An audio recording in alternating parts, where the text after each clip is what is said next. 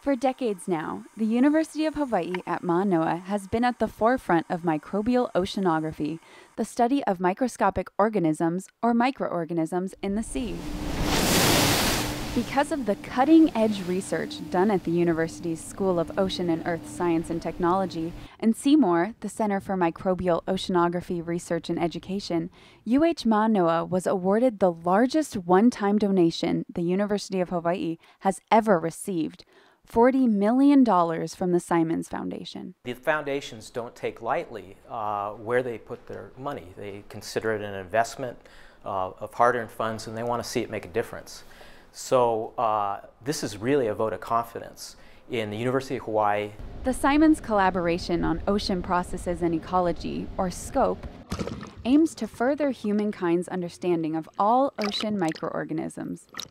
Microorganisms uh, are the most important living beings on this planet. They're mostly invisible to the naked eye, but they're responsible for the habitability of our planet by producing the oxygen we breathe and breaking down man made pollutants, along with being the base of the food web for the world's fisheries. This new program will allow us to really get into the details, the scientific details of how organisms in the ocean make their living, how they absorb and transform energy, how they cycle elements such as carbon, nitrogen, and phosphorus. These are the basics of life. The research took a big leap forward in 1988 with the start of the Hawaii Ocean Time Series program, a one of a kind, ongoing on site study of a six mile section of the Pacific Ocean, 100 kilometers north of the state. It's a 25 year, every month, detailed survey of how that ecosystem works. It's probably the best understood piece of the ocean on the planet.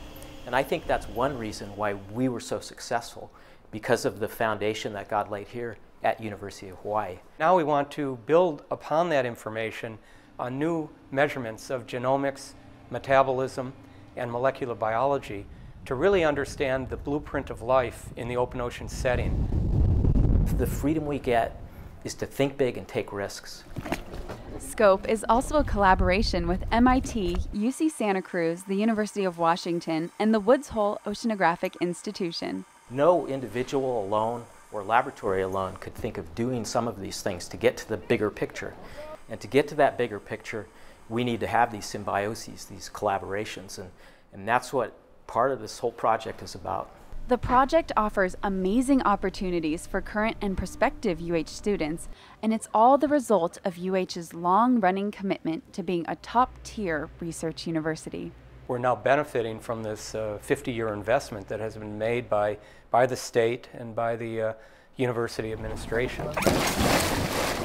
Today we begin a whole new phase of research here at the university, uh, one that will continue some of the developments that we made in C-MORE and in the Hawaii Ocean Time Series program, but will be fundamentally different in many regards.